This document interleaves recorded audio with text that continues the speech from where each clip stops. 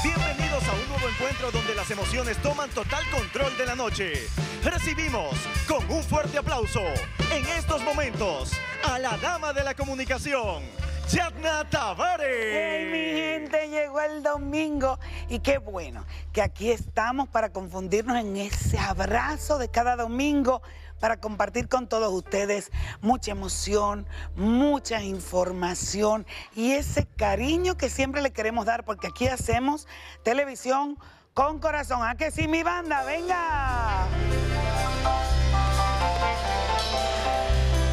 Hoy tenemos tremendo programazo. Como siempre, tratamos de darlo todo para ustedes.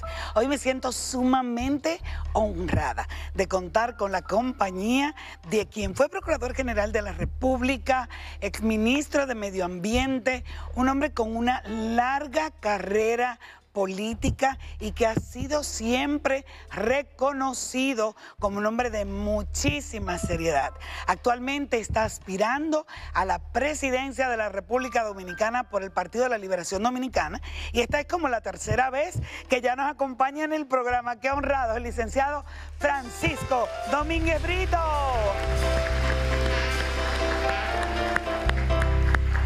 Una mujer maravillosa, talentosísima, que siendo muy emprendedora, pasa de actriz y comunicadora a flamante productora de cine en la República Dominicana. Nos viene a hablar de su ópera prima, Killing Saraí, Dalisa Alegría.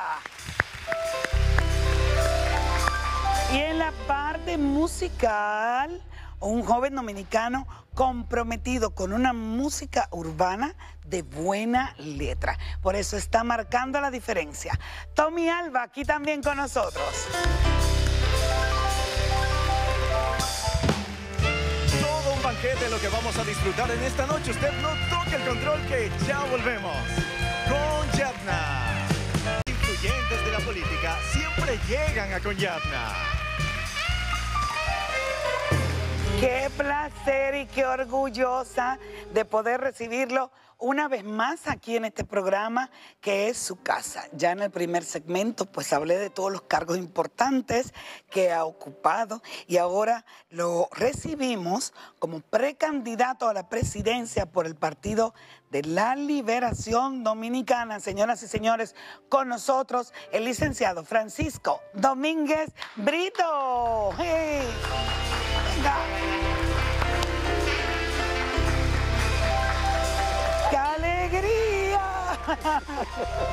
¡Ay, qué maravilla, licenciado! Gracias, gracias. Siéntese en su casa. Bien, muy contento de estar aquí nuevamente. Gracias. Y por qué no aprovechar también para decirte, como ciudadano, como persona, gracias.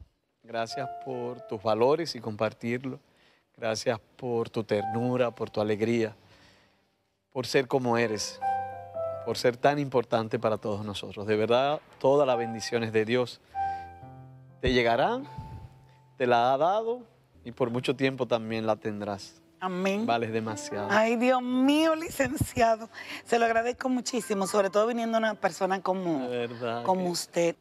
¿A quién usted visualiza como contendor en esta precandidatura a la presidencia dentro del partido? He dicho que eh, en este momento, eh, básicamente, si busco un contendor, no debo buscarlo en una persona, debo buscarlo en un problema. En el tema de tantos jóvenes en este momento que no encuentran un trabajo, que tienen buenas aspiraciones, pero no tienen ni siquiera una formación. Que yo pueda básicamente cambiar y transformar su vida, la vida de ellos, que tengan una ilusión, que tengan una esperanza y que se pueda concretizar eso. Que yo pueda indudablemente permitir a una madre que su hija pueda llegar de la universidad sin tanto temor, sin tanto miedo, y que pueda reformar la policía, y que pueda destruir la impunidad, y que la impunidad, que es el mayor estímulo a los robos y los atracos que tanto nos golpea, yo pueda decir, caramba, República Dominicana es un país de paz y de seguridad. Así es que, tal vez en la misma filosofía tuya, yo, para mí un honor, me quiero parecer a ti y siento que me parezco en muchas cosas a ti. Yo no creo en la confrontación personal. eh, aunque en mi vida pública, cuando he tenido que asumir posiciones personales en casos con nombres y apellidos, sobre todo en estos casos de lucha contra la corrupción, yo veo mucha gente que dice luchamos contra la corrupción, pero nunca se ha animado a asumir roles específicos en un caso determinado. Eh, yo siento la satisfacción, si se quiere, o el sentido de responsabilidad que yo le he puesto nombre y apellido, pero jamás, jamás ofender aún al contrario. Yo viví una experiencia muy fuerte con el señor Marchena. El señor Marchena fue aquel de Bahía de las Águilas. Se burló, salí en todos los medios bebiendo whisky. Y en aquel momento yo tenía 31 años. Y él decía al fiscalito ese que me venga a buscar preso. Y todo era una burla, una burla porque él había una orden de arresto contra él. Cuando por fin la policía lo atrapa, me dice el jefe del servicio secreto, que en ese momento se llamaba, lo voy a traer esposado por la puerta principal para que le tiren fotos, para que los camarógrafos lo tomen y se le acabe esa burla que él tenía con usted. Yo le dije, no, usted me lo trae por detrás, como todos los detenidos, sin excepción.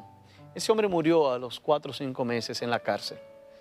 Y yo me pregunto, ¿cómo yo me hubiese sentido si a mí la ira, el rencor, el, resentimiento se hubiese apoderado?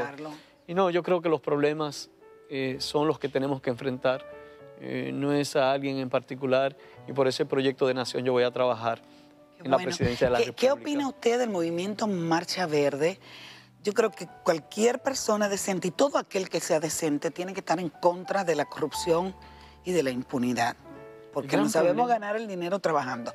¿Qué opinión le merece la gran demostración que dio la Marcha Verde recientemente y, y, la demanda, la motivación sobre todo, con relación a la situación actual en el país? El gran problema de la corrupción es la impunidad. Nosotros hemos avanzado muchísimo en aquellas normas de control. Sin embargo, tenemos serios problemas en materia de impunidad. El que roba, atraca, el que se lleva mil millones para su casa, el que tiene 5 o 10 apartamentos en Miami, en Nueva York, aviones, yates, tiene que ir preso y no puede durar un año ni dos, tiene que durar 15, 20 años preso. Solamente combatiendo la impunidad nosotros podemos tener éxito. Yo señalé en aquel momento que dentro de la Marcha Verde yo conozco personas con unos valores y una integridad eh, extraordinaria. Lo que sí me molesta es el oportunismo el oportunismo que yo vi, sobre todo en el Partido Revolucionario Moderno de oposición. ¿Por qué intentar dañar eso? ¿Por qué hacer tantas poses? Eh, esto no es un momento de poses, ni de, ni de hacer esto como una actuación, es simplemente un momento de asumir cada uno de nosotros la responsabilidad. Le voy a hacer una pregunta para que me la responda después que nosotros regresemos. ¿Hay independencia, licenciado? Entre el Poder Ejecutivo y, por ejemplo, el mismo Ministerio Público. No obstante, es el mismo gobierno quien lo nombra. Usted lo vivió en carne propia. ¿Hay independencia, licenciado? Me lo va a contestar cuando regrese. no se vaya nadie. Nuestro especial invitado esta noche, Francisco